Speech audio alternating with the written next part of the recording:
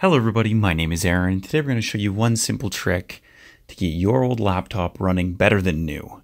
Running better than it's ever ran before, faster than it's ever ran ever.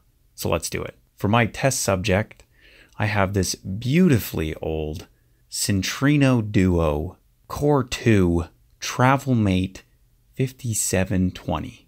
This is an Acer laptop. It doesn't even have a webcam. This thing runs dog slow.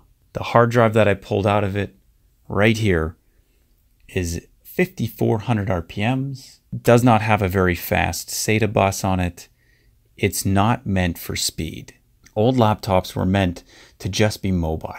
When these older laptops were built, there was not a lot of emphasis on speed. There's a lot of emphasis on just getting something mobile. So now that we have newer technology, now that we have the ability to make solid state drives, you can turn your laptop into a screaming beast for 20 to 30 dollars. You need to get your hands on a solid state drive. Links in the description if you don't know where to look.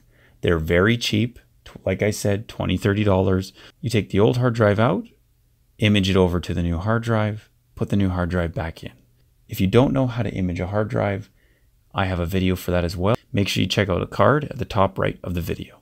Now that I have a solid state drive in this laptop, it boots fast, somewhere around 24 to 26 seconds, whereas previously we were booting at around three and a half to four minutes. Loading applications is quick as well. As you can see, there's not a lot of hesitation with loading applications. Applications were sluggish, especially immediately after boot. That is no longer the case. If you don't want to go out and spend a ton of money on a new laptop, you just want to spruce up your old one, this 20 to $30 trick is right for you. Thank you for watching. If you want to see more, hit up the channel. We'll see you guys next time. Ciao.